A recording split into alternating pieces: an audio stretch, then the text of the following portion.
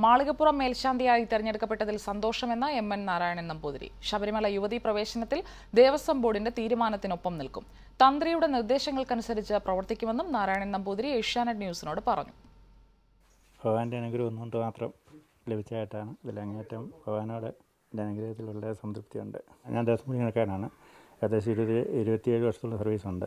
മേശാന്തിയെ സംബന്ധിച്ചോളം തന്ത്രിയുടെ ആജ്ഞ അനുസ- അനുസരിച്ച് പ്രവർത്തിക്കുക എന്നുള്ളൂ മേശാന്തിയെ സംബന്ധിച്ചതുപോലെ അദ്ദേഹത്തിന്റെ ആ അഭിപ്രായമാണ് നമുക്ക് ഏറ്റവും വലിയ ഇത് കാര്യമുള്ളത്.